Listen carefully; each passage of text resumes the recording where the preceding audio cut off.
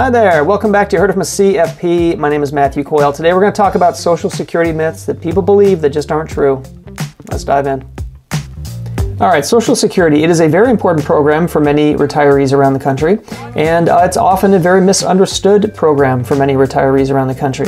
You know, I've been doing this for a while now, and I'm still very surprised at the number of people, educated people, professional people, uh, who don't really understand how Social Security works, uh, where the values come from, or even some basics about the program. So I thought I'd just list five things that I have seen over the years that people often get wrong about Social Security, and we will talk about right from the bat. Number one, how your benefit is calculated and what your benefit represents.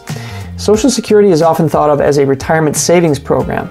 It really isn't. It is basically a pension and transfer program that is based not on how much you pay into the system, but how much you've earned over your working life. Now, that particular benefit you will receive replaces, on average, according to AARP, about 40% of your pre retirement earnings once you actually hit Social Security based on when you take it. Now, that can vary, but it's about, on average, 40% of your pre retirement income. The rest is up to you through your own retirement savings programs like 401ks, taxable accounts, 403bs, IRAs, whatever, Roth IRAs, fill in the blank. But Social Security at its heart is really not a retirement savings program, it's a pension and transfer program.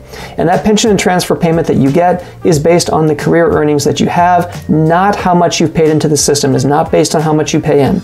So that's one misconception I see quite a bit.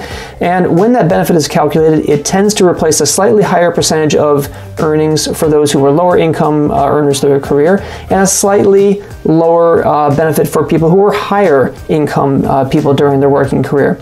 So on average, again, it replaces about 40% of your pre-retirement earnings for most people, um, and it's not based on what you put in. It's based on your career earnings over a lifetime.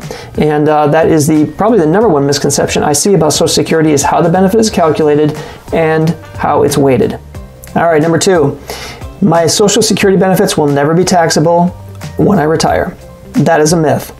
It's not guaranteed they will be, but they can be. Up to 85% of your benefit that you receive from Social Security can be taxable, income taxable, by the government and possibly the state level as well if you have income outside of your normal retirement income that comes from Social Security. So, if you plan on having a side hustle in retirement, or perhaps you want to have a side gig of some kind, you have a hobby that you earn income from, whatever it is, you may want to delay your filing if you have income that is, and I've got the levels right here because I'm going to do it from memory.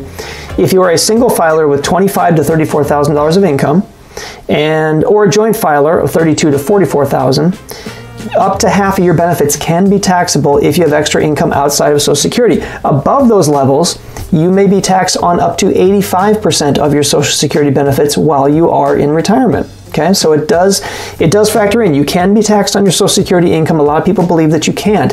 I think where this comes from is that up until 1984, um, you were not tax- taxed on Social Security benefits. It was not legal to do that. Starting in 1984, Reagan changed those rules, and uh, we now have benefits um, that can be taxable up to 85%, depending on your outside income and retirement. So, up until 84, you weren't taxed. After 84, you were. So that's probably where this comes from. And yes, you can be taxed. Um, obviously, we build these into our plans when we look at uh, clients' outside income, and quite often we find it's beneficial for them to delay taking it if uh, if they think they're going to earn extra income outside of that. So yes, you can be taxed. The fact that you can't be taxed, that's a myth. So be aware of that when you do your plans or talk to your planner, whoever you work with. All right, myth number three. I will lose my benefits permanently if I continue to work into retirement. This is also a myth. We're going to piggyback off of number two here for a bit when it comes to income. You will not, repeat, not lose your benefits permanently if you continue to work. And again, I'm going to go off uh, the Social Security website here just so I don't get the numbers wrong. In 2022, your benefit is reduced by $1 for every $2 in income you have above $19,560, okay? if you hit the full retirement age in the current year, you the, the earnings test essentially goes away. There is no benefit reduction. Okay. Now, Social Security also adjusts upward so that you don't have a reduction when you hit full retirement age. Now, for most people, full retirement age will be like 67. For guys like me who are now 44, the Gen Xer uh, group, we're probably going to be 69 or 70, and that's fine. Um, but there is no permanent benefit reduction if you choose to work into retirement. That is a myth, and I don't know where it comes from, but People still believe it, and I hear it quite often. So if you choose to work, once you hit full retirement age, okay, there is no earnings test once you hit full retirement age and that is just the way they do it. Um, so I hope I don't keep hearing this myth a lot, but I do hear a lot. There is no benefit reduction if you continue to work into retirement. Once you hit full retirement age, they do not really uh, reduce your benefits if you choose to work. Now that doesn't change the fact that your income, uh, Social Security income, might be taxable. That is still true, but there is no benefit reduction if you choose to work uh, once you hit full retirement age. So once you hit full retirement age, there is no earnings test and there is no benefit reduction. So that myth officially is not true. All right, myth number four. You should always wait until 70 to collect your check. This is one that I hear a lot. And um, yes, it is true that you get a benefit bump when you wait till age 70 because you're getting delayed credits and the government doesn't have to pay you. So naturally, you would expect a bigger check if you wait till 70. However, it may or may not be best in the interest of your financial plan to do that. Sometimes it's actually beneficial to take at 62. Sometimes it's beneficial to take at 70, sometimes it's just fine to take it at full retirement age. It depends, it depends, it depends, all right? So if you are going to spend a certain amount of money that you require an extra bump in income from Social Security and you don't want to draw that from your investments because you don't want to deplete your invested balance, then you probably should take it a little earlier. If you have a much higher retirement balance, um, on average, you probably want to wait till age 70 because you don't have to take it. You can wait. You can use your other investments maybe that are more tax advantaged. Um, so it really does depend, and this is where a financial planner can be very helpful here in helping you determine when to take that check, when not to take it. Quite often, if you have, on average, I find if you have a lower retirement balance, it's best to take it at your regular retirement age or even maybe a little sooner. If you have a fairly high retirement balance and you've been a high income earner, you've been able to save and you've been fortunate there, um, you could probably wait till 70 be just fine. But it really does depend on your financial plan. It depends on your stand, uh, st standing as far as your, what you need in life as far as your spending.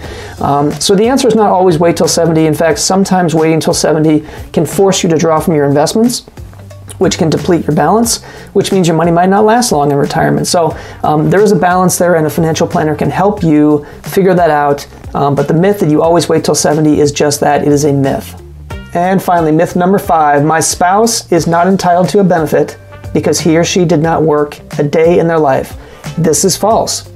If you are a married couple, um, regardless, male, female, doesn't matter, and your primary earning spouse files for their benefit, you as a spouse, regardless of the number of days you worked, are entitled to a spousal benefit equal to half of the primary earner's benefit themselves. Now, the reason they do this is because, well, it's very simple actually. We don't want to punish people who stay, uh, choose to stay home and raise children, for example. Um, example, a personal example, my mother did not work. My father worked for 50 years. When my father filed for his benefit upon retirement, my mother also filed for a benefit equal to half of his. This is because the Congress and the Treasury, of course, don't want to discriminate against those who choose to stay uh, at home and raise children, which is, of course, a social good. We want to promote that. And so, because of that, the spouse can earn a benefit equal to half of what the primary earning spouse gets. Now, slight caveat on this there is a rule on this you, you want to be aware of you cannot get that benefit, a spousal benefit, until your primary earning spouse files for theirs. So you can't just file whenever you want to for a spousal benefit. The, the primary earning spouse has to file first, then the spouse can file for half the benefit um, after that. So it is a myth that spouses who don't work do not get anything. They do get something to get a spousal benefit.